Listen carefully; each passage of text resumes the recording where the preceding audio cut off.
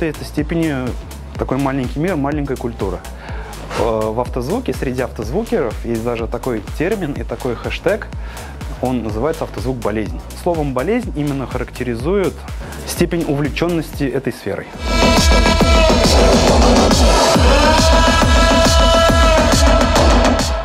Эстрадная акустика, она именно рассчитана на громкость, то есть качество, э, понятие качества в ней вторично.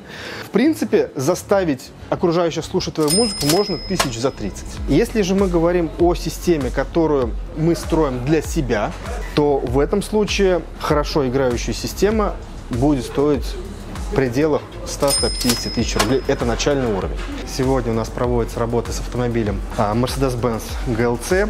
Здесь мы делаем шумоизоляцию четырех дверей, колесных арок. И также мы меняем аудиосистему в этом автомобиле. К сожалению, а, в современных премиальных автомобилях штатная аудиосистема оставляет желать лучшего. Чуть дальше у нас э, стоит уже готовый проект. Это лодка. Одно из распространенных транспортных средств, куда также устанавливается аудиосистема. А, что касается аудиосистем на водном виде транспорта, то она строится практически аналогично, как и в автомобилях. То есть здесь классическое головное устройство. Здесь у нас установлены э, два комплекта динамиков громких.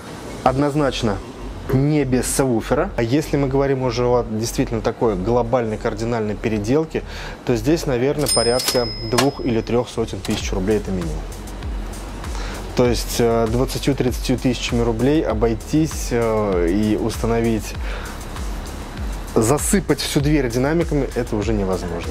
Вот эту акустика Морель Supreme 602 – это самый дорогой вариант акустики в нашем магазине. Вообще в мире есть акустика дороже, я бы даже сказал гораздо дороже, но в нашем магазине это самая дорогая.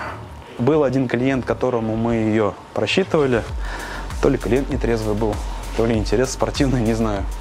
Вот, но мы ее так и не продали. Но из э, необычного транспортного средства, первый, наверное, самый необычный, это все-таки гольф-кар. Еще одно необычное транспортное средство, это все-таки гидроцикл. Э, я честно скажу, и по сей день мне непонятно, зачем там нужна музыка, вот, но тем не менее 4 гидроцикла мы сделали за 3 года.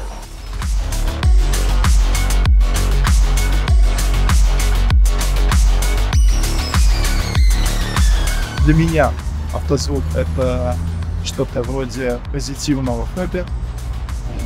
Пришел я к нему, э, наверное, как и многие, в свое время э, с обычным желанием поменять штатную акустику автомобиля. Вот. Но на чем я конкретно уже и не остановился.